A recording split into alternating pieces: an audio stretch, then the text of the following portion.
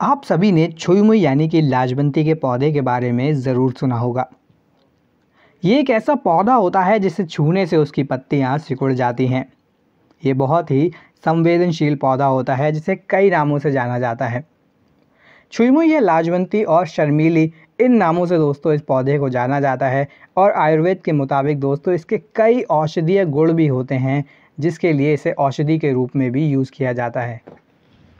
लाजबंती नाम से ही दोस्तों आप समझ गए होंगे कि इस पौधे को छूने से वह शर्मा जाता है, यानी कहने का मतलब है कि इसके पत्तियाँ दोस्तों सिकुड़ जाती हैं। इस छुई पौधे के दोस्तों पौष्टिक गुणों के आधार पर लाजवंती आयुर्वेद में औषधि के रूप में प्रयोग में लाया जाता है। आइए दोस्तों जानते हैं इस पौधे के बारे में हमारे आज के इस वीडियो में। सबसे पहले जानते हैं दोस्तों ये पौधा होता क्या है। तो दोस्तों छुईमुई का पौधा एक प्रकार का बारहमासी झाड़ी होता है, जो कि ऊंचाई में बहुत ही कम बढ़ती है। इस झाड़ी में कांटे होते हैं। इस पौधे की ऊंचाई दोस्तों लगभग 15 से 100 सेंटीमीटर के बीच होती है, जबकि छुईमुई की पत्तियाँ दोस्तों गहरे हरे रंग की होती हैं और ये इमली की पत्तियों की तरह दिखती है। इस तरह के पौधे को दोस्तों आप अक्सर सड़क के किनारे, चारगाहों या खेतों में आप देखते होंगे। इसकी जड़ें पतली और वेलनाकार होती हैं। इस पौधे की मोटाई लगभग दो सेंटीमीटर होती है। इसके पत्ते दोस्तों छोटे छोटे होते हैं, जो शाखाओं के दोनों ओर होते हैं। ये पौधा औषधीय गुणों से भरपूर होता है। लाजवंती को दोस्तों छुईमुई के नाम से भी जाना जाता है। इस पौधे को अंग्रेज़ी में टचमी नॉट प्लांट के नाम से जाना जाता है। इस प्रजाति के पौधे दोस्तों अनेक रूपों में मिलते हैं। इसके फूल गुलाबी रंग के और छोटे होते हैं। इसकी जड़ दोस्तों स्वाद में अम्लीय और कठोर होती है। दोस्तों ये पौधा प्रकृति में ठंडी तासीर का होता है। आयुर्वेद में दोस्तों, लाजवंती के बहुत से फ़ायदे बताए गए हैं, जिनमें कफ पित्त को दूर करना, नाक कान से खून बहना, दस्त पित्त, सूजन, जलन, अल्सर, कुष्ठ या फिर दोस्तों, योनि के रोगों में भी ये आराम दिलाती है।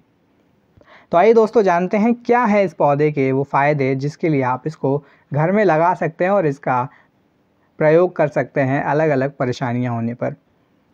दोस्तों, खांसी से राहत दिलाने के लिए इस पौधे का बहुत ज़्यादा प्रयोग किया जाता है। अगर आप मौसम के बदलाव के कारण खांसी से हमेशा परेशान रहते हैं तो दोस्तों, लाजवंती से इसका इलाज किया जा सकता है।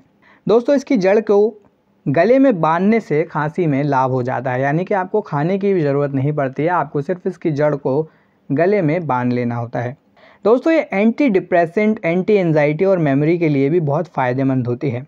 आयुर्वेद के मुताबिक छुईमुई के पौधे के इस्तेमाल से तनाव, अवसाद और डिप्रेशन की समस्या दोस्तों ख़त्म हो जाती है। याददाश्त में सुधार के लिए भी दोस्तों इस पौधे का प्रयोग किया जाता है। इसके पौधे का दोस्तों अर्क बनाकर उसका सेवन करने से आपकी मानसिक समस्याओं में आपको बहुत फ़ायदा मिलता है। आपका तनाव डिप्रेशन चिंता और अवसाद जैसी मानसिक बीमारियों के इलाज के लिए दोस्तों छुईमुई के पौधे का अर्क आप बनाकर प्रयोग में ला सकते हैं। इसका अर्क दोस्तों आप रोज़ाना सुबह और शाम को एक चम्मच सेवन कर सकते हैं। ऐसा करने से कुछ ही दिनों में आपको दोस्तों इन परेशानियों में लाभ मिलने लगता है। घाव भरने के लिए भी दोस्तों इस पौधे का प्रयोग किया जाता है। परंपरागत रूप से दोस्तों इस पौधे की पत्तियों का उपयोग घाव उपचार के लिए किया जाता है। आप इस पौधे के रस का उपयोग दोस्तों घाव के संक्रमण को फैलने से रोकने के लिए भी कर सकते हैं और उनका उपचार कर सकते हैं। दोस्तों कई स्टडीज़ में ये पता चला है कि इस पौधे में घाव को ठीक करने वाले गुण होते हैं। इस पौधे की पत्तियों को पीस कर दोस्तों रस निकाल लेना होता है आपको और घाव पर उस रस को लगा लेना होता है। इसके उपचार गुण दोस्तों घाव को जल्दी ठीक करने में मदद करते हैं साथ ही दर्द को भी दोस्तों ये शांत कर देते हैं। दोस्तों ये घावों को ठीक करने का एक बहुत ही प्रभावी और प्राकृतिक तरीका है। दोस्तों गठिया के लिए भी आयुर्वेद में इसका बहुत प्रयोग बताया गया है। जो लोग गठिया रोग से पीड़ित होते हैं उनके लिए लाजवंती एक, एक दवा का काम करती है। इस पौधे में दोस्तों एंटी इन्फ्लेमेटरी गुण पाए जाते हैं, जो जोड़ों में सूजन का इलाज करते हैं। इस तरह से इस पौधे का उपयोग दोस्तों गठिया के दर्द से छुटकारा पाने में भी किया जा सकता है। गठिया का उपचार करने के लिए दोस्तों इस पौधे की पत्तियों का पेस्ट आपको बनाना होता है और जिस जगह आपको प्रॉब्लम हो, वहाँ पर दोस्तों इस पेस्ट को आपको लगा लेना होता है। इस पेस्ट को दोस्तों रात भर आपको लगे रहने देना है और हर दिन दोस्तों आपको इस पेस्ट को उस जगह पर लगाना है और कुछ ही दिनों में आप देखेंगे कि आपको गठिया से संबंधित परेशानी में आराम मिलने लगेगा। दोस्तों, पेट फूलना या अपच से संबंधित परेशानियाँ होने पर भी दोस्तों, लाजवंती का प्रयोग किया जाता है। डाइट या खाने पीने में गड़बड़ी होने पर ही अपच या पेट फूलने की समस्या होती है। पाँच से दस मिलीलीटर दोस्तों, लाजवंती पत्ते के रस को आपको पी लेना होता है, जो कि अपच के कारण दोस्तों, बुखार कामला या पीलिया और सभी प्रकार के पित्त संबंधी रोगों में भी आपको लाभ पहुंचाता है। तो दोस्तों, पित्त से संबंधित परेशानियाँ होने पर भी आप इसका प्रयोग कर सकते हैं। दोस्तों, आज के समय में जो सबसे कॉमन और बहुत कष्टदायी परेशानी जो चल रही है, वो है दोस्तों बवासीर यानी पाइल्स की समस्या। दोस्तों, बहुत ज़्यादा मसाले या तीखा भोजन करने की वजह से ये समस्या आमतौर पर हमारे आजकल के लोगों में देखने को मिलती है। दोस्तों, बवासीर की समस्या से राहत पाने के लिए छुईमुई या लाजवंती के पौधे का इस्तेमाल आप कर सकते हैं। आयुर्वेद के मुताबिक, बवासीर के इलाज के लिए उसका इस्तेमाल प्राचीन काल से ही होता आ रहा है। कुछ लोगों को बवासीर की समस्या होने पर उन्हें मल के साथ खून आने की समस्या भी होती है। इसे, दोस्तों, खूनी बवासीर के नाम से जाना जाता है। इस स्थिति में लाजवंती या छुईमुई के पौधे का इस्तेमाल, दोस्तों, बहुत ही फ़ायदेमंद होता है। बवासीर की समस्या से छुटकारा पाने के लिए, दोस्तों, आप छुईमुई के पत्तों का इस्तेमाल कर सकते हैं। दोस्तों, आपको छुईमुई के पत्तों को ले लेना और उसे छाए में सुखा लेना है। बाद में दोस्तों, आप इनका चूर्ण बना लीजिए। और इसके चूर्ण को दोस्तों, एक गिलास दूध के साथ में आपको सुबह शाम लेना है। नियमित रूप से दोस्तों, ऐसा करने से आपको बवासीर और अर्श की समस्या में फ़ायदा मिलेगा और वो जल्दी ठीक हो जाएगी। दोस्तों, डायरिया की समस्या होने पर भी छुईमुई का प्रयोग आयुर्वेद में बताया गया है। सामान्य और खूनी दस्त की समस्या होने से छुईमुई या लाजवंती के पत्तियों का इस्तेमाल किया जा सकता है। दस्त के इलाज के लिए भी दोस्तों इसका इस्तेमाल सैकड़ों सालों से किया जा रहा है।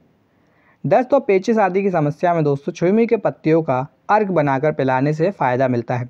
इसके अलावा आप खूनी दस्त की समस्या होने पर छुईमुई के पौधे की जड़ का चूर्ण बनाकर दोस्तों मरीज़ को लगभग तीन ग्राम चूर्ण दही के साथ खिला सकते हैं।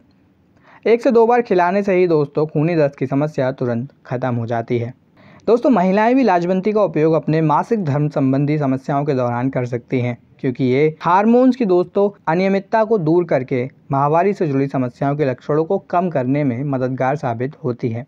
दोस्तों, अस्थमा की समस्या में भी छोईमुई को असरदार आयुर्वेदिक औषधि माना गया है। अस्थमा में इसका इस्तेमाल बहुत ही फ़ायदेमंद होता है। लाजवंती या छुईमी में दोस्तों, कफ को ख़त्म करने के गुण पाए जाते हैं, इसलिए इसके इस्तेमाल से दोस्तों, अस्थमा की समस्या में कफ बनने से छुटकारा पाया जा सकता है।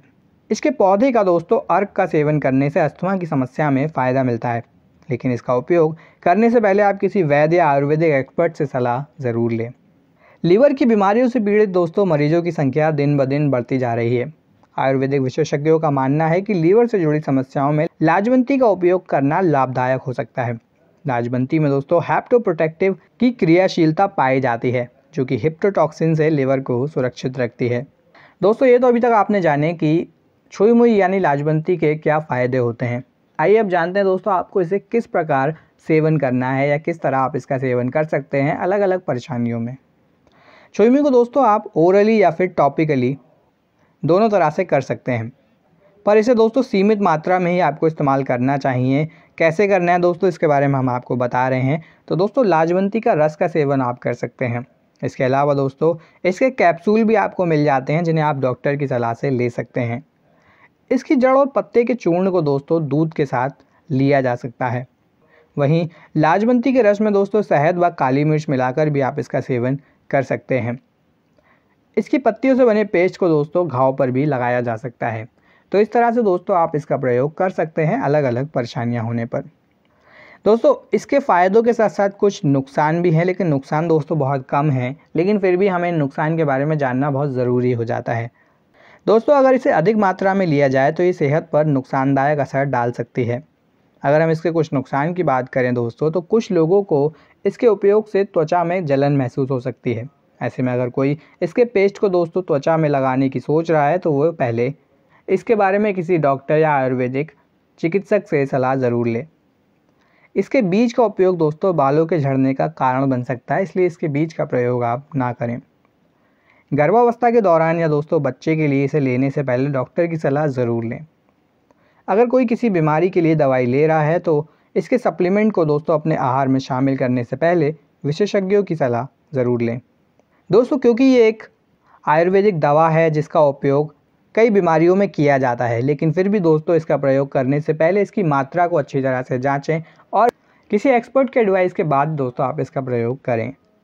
तो दोस्तों, ये था हमारा एक वीडियो। कि कैसे दोस्तों छुई मुई आपके लिए लाभदायक होता है अलग अलग परेशानियों में। आशा करते हैं दोस्तों वीडियो आपको इन्फॉर्मेटिव लगा होगा। वीडियो दोस्तों इन्फॉर्मेटिव लगा हो तो लाइक और शेयर ज़रूर करें। साथ ही आप चैनल पर नए हैं तो चैनल को सब्सक्राइब करें और जुड़े हमारे चैनल के साथ। वीडियो में आप सभी अंत तक बने रहे, उसके लिए आप सभी का धन्यवाद।